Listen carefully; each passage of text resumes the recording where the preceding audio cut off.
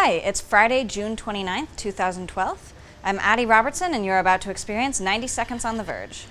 According to Reuters, Research in Motion is under mounting pressure to do something more drastic than just staying the course with BlackBerry 10. One of the more interesting options could involve Microsoft. Reuters also says the company has approached RIM about switching over to Windows Phone.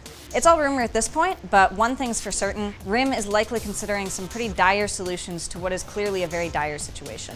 Speaking of Microsoft, HP has confirmed that it will not be selling ARM-based Windows RT tablets when Windows 8 launches later this year. Instead, it'll focus on tablets with Intel's x86 platform. The company says that's due in part to a larger app ecosystem, since Intel tablets will work with any Windows software, while ARM-based Windows RT can only run the new Metro platform. So far, the only confirmed Windows RT tablets include ASUS's Tablet 600 and Microsoft's own Surface. In Google News, this week we sat down with Android UX director Matias Duarte.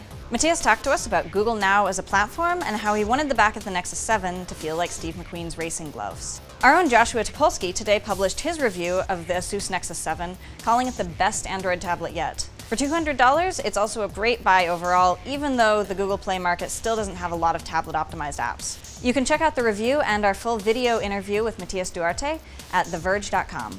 That's it for today's top stories. Tune in tomorrow for our report on telepathic messaging. Who owns the spectrum?